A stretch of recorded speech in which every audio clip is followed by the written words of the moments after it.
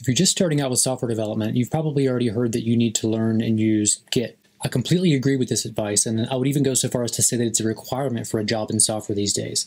Now, there are several services that use Git, like GitHub, GitLab, and others, but I prefer GitHub, and I recommend that you create a free account there as a first step. So if you're just a beginner or if you need a refresher on the basics of Git and GitHub, this video is for you. I'll also add up front that there are other tools for source control like Subversion, Perforce, and others, but outside of game dev, most companies just use some form of Git. Now you might be wondering what I mean when I say source control. Well, source control is the process of saving your work in versions so that you can return to a previous state if needed. Your new work can be incrementally reviewed by others and then merged into the mainline code. So if this still sounds confusing, just think of it like saving your game progress at checkpoints that you can return to later, and we'll evolve from there. Let's take a quick look at GitHub, and I'll show you what my public page looks like. Okay, so here's my GitHub page. This is the public view. I'm not signed in, obviously. It looks pretty similar whenever you're signed in. You just have a little bit more options that you can do. A little bit of information about me. You can add some things about yourself. You can kind of make this your own resume of sorts. So scrolling down, these are some repositories I have pinned. I probably should update this. I'll make sure and do this pretty soon whenever I have some new code from these videos that I'm publishing on this channel. These are some older things, some Objective-C, some C-Sharp. Uh, this is a Unity game. There's some other things on here that are just open source that you feel free and take a look, check them out if you'd like. This is the contribution graph. This shows how much code that you've committed. A lot of this is for private repos for my job and stuff. That's why I have so many commits. But as you can see, you can go back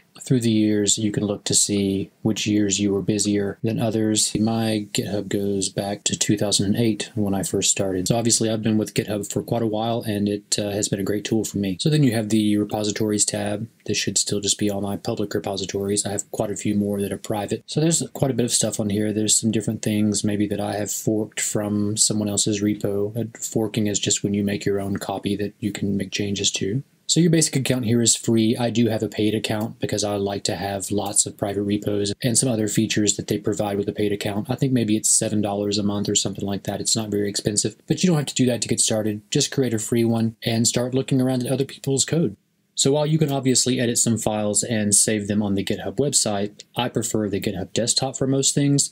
And if you're a new user, I highly recommend downloading this. It's available for Mac and for Windows both, and it makes a lot of the commands and a lot of the things that you want to do with GitHub quite a bit easier. You don't have to use the command line interface with this. And if you need to do some more complex actions like cherry picking a commit or squashing a commit, this application really just makes it much easier for me. So if you're a beginner, I highly recommend just downloading this to get started. Well, this has been a pretty basic overview of Git and why it's very important to your career as a software developer. I'll be making more videos about Git and GitHub on this channel, so make sure you subscribe if you want to learn more.